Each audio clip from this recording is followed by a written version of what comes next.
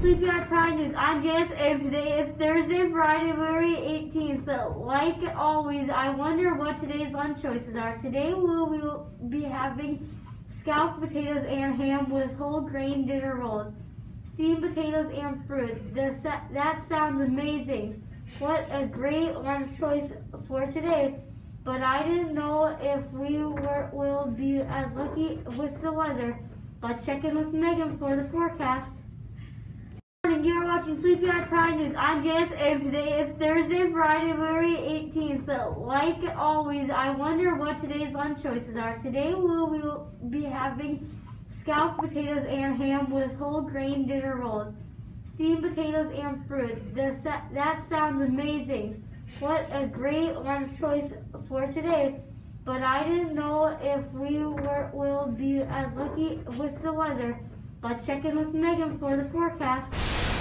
Today's forecast is a high of 13 degrees, but with a real feel of negative 2 degrees.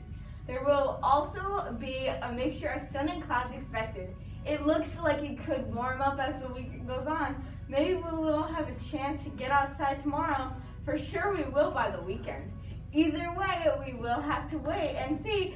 Back to you. Got to go. I'm excited for warmer temps. As you can clearly see, winter weather can be unpredictable, so come prepared. Sweatshirts are not acceptable. Winter weather clothing. Remember to wear your mask properly, social distance whenever possible, and wash hands um, thoroughly. It is I love to read month, so keep working on those books those book bingos. Also, remember Mrs. K's challenge. At, uh, Miss K challenge just to read a one mil a one million word each week.